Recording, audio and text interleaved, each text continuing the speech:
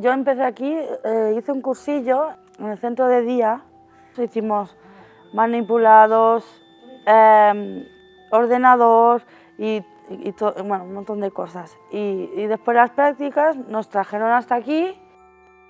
A ver, siempre me dormía, no cum- cumplía, venía cuando quería, no sé qué.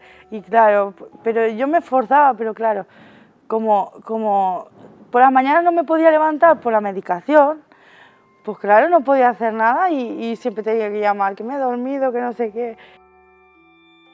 La verdad es que son un poco, son un poco estrictos, pero son tolerantes al mismo tiempo. Lo que pasa que yo creo que lo hacen también porque nos- de alguna manera nos tienen que espabilar. Porque llegamos aquí con las enfermedades, para aquí, que sí, no sé qué.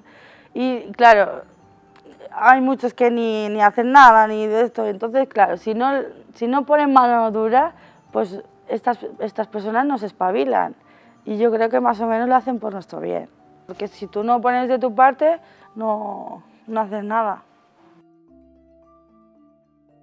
Yo el futuro pues lo veo bien, porque siempre buscan cosas nuevas, siempre aquí en el almacén se, han- se ha hecho de, de todo, de todo. Yo he pasado por todos lados, pero no me conformo con solo con lo que he aprendido, que, me, me ha servido de mucho. Yo quiero aprender algo más, ser, ser una persona normalizada, como, como todas, pero con una enfermedad y ya está.